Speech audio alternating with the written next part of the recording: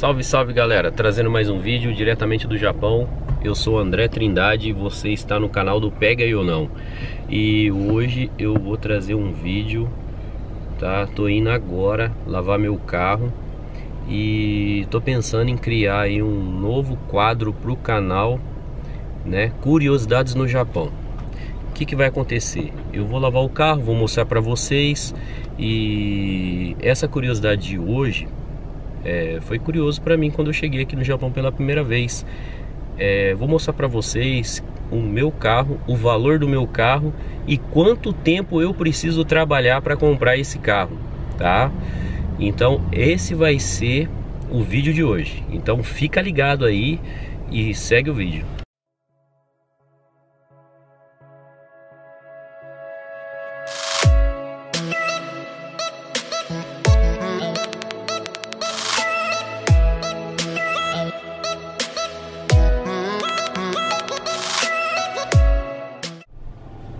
Valeu rapaziada, chegamos aqui no posto aqui, já, vou, já parei, tô na fila, ó, vou gastar mil ienes aqui para lavar meu carro, né?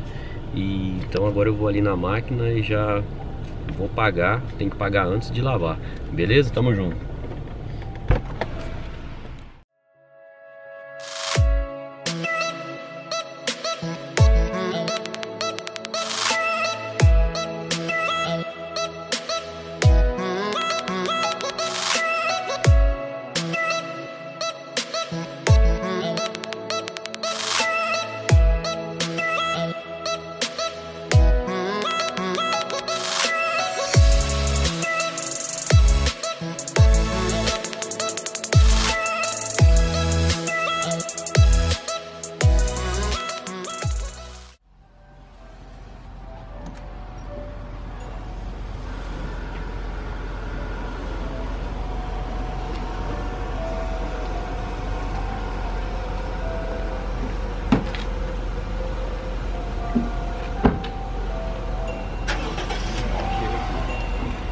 Legal que aqui, ó. Aqui você aluga o aspirador, ó.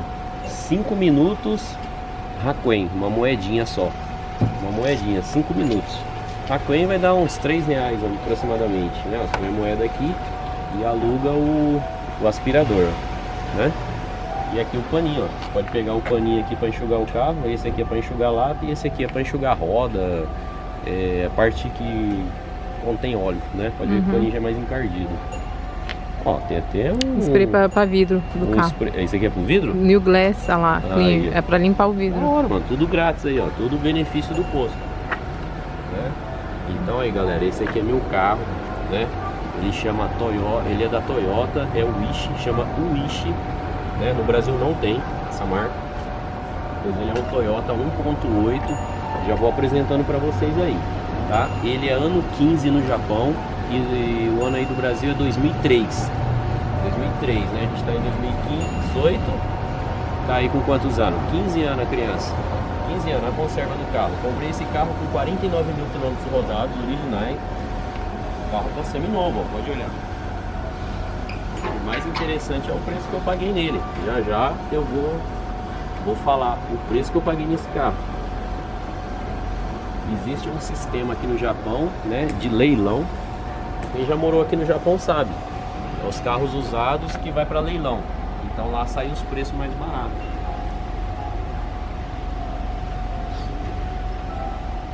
Lá saem os preços mais baratos e não é qualquer um que pode comprar carro lá, tem que ter uma credencial. E aqui na cidade que eu moro tem um cara que tem essa credencial e eu consegui comprar com ele. Ele teve o lucro dele, né?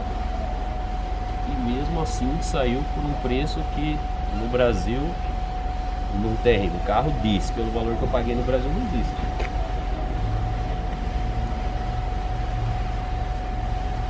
Então por isso que eu vou trazer esse conteúdo para vocês. Além de estar apresentando meu carro, a galera já estava pedindo, queria saber que carro que é, sempre eu comento, né? Então a rapaziada estava querendo saber. Já tá vendo, é um carro.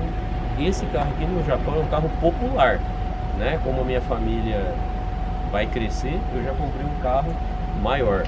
né? Ele tem, ele cabe sete pessoas. É estilo uma Paraty, né, no Brasil.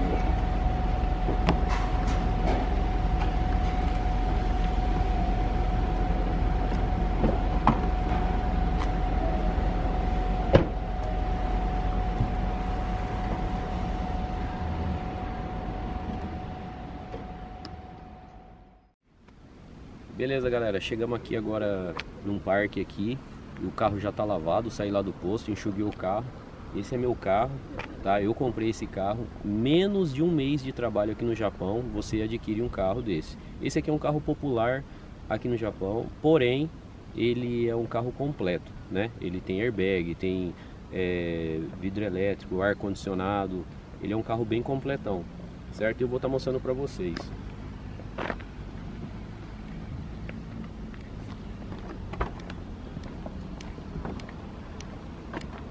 Olha aqui. Pode ver aí, ele é um Toyota, chama Wish, ele é um carro 2003, né? Tem airbag, ele tem, ele já vem com navegador original de fábrica, airbag duplo lá do outro lado. Você pode ver que, o, que ele tem alguns acessórios, é né? um carro de 7 lugar, também um carro 1.8, né? E aqui o porta-mala dele porta-mala dele aqui, tem até umas caixas aí, vou jogar fora. porta-mala dele é estendido. E aqui é os outros dois bancos, né? Dois na frente, três aqui e mais dois aqui atrás, né? Uhum. Então, eu deixo deitado porque geralmente é só eu e minha esposa que anda no carro e a gente usa mais a mala, né? Então aqui, ó, um Toyota Wish e esse carro eu comprei, é um carro popular, não é um carro esportivo, mas esse carro eu comprei por 200 mil ienes, 200 mil ienes, beleza? E a média, a média de um trabalhador aqui no Japão, um operário, igual eu sou um operador de fábrica, a média de salário é 18 mil ienes, trabalhando as 8 horas diárias e mais 3 horas extras. Então você faz as contas aí, 18 mil ienes por dia, sendo que eu paguei 200 mil, 12, 12 dias de trabalho você compra um carro desse, 2003, né? Wish 2003 e 1.8. Então, essa, esse daí foi um vídeo curioso que eu trouxe para vocês. No Brasil, tenho certeza que com 12 dias do seu serviço, você não compra nenhuma bicicleta, né? Dependendo do tipo de serviço que você faz. Eu sou um operador e o operador aqui é uma escala bem baixa de, de, de trabalho, né? Agora, aí no Brasil, provavelmente um carro desse completo que tem esses acessórios que eu falei, você vai pagar quanto? 30 mil? 20 mil? Aqui, esse valor de 200 mil ienes, aproximadamente em reais, 5.700 reais.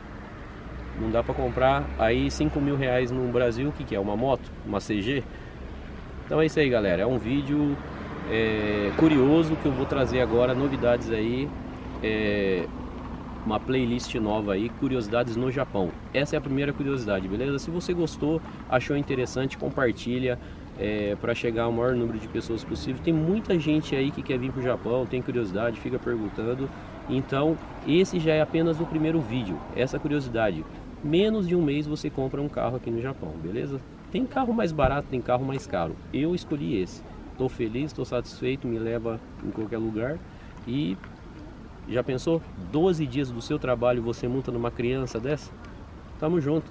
Então compartilha esse vídeo, deixa o like se você é novo no canal, se inscreva que vai ter muita novidade. Valeu galera, pegue ou não na área, tamo junto, saiu na área, até a próxima, valeu!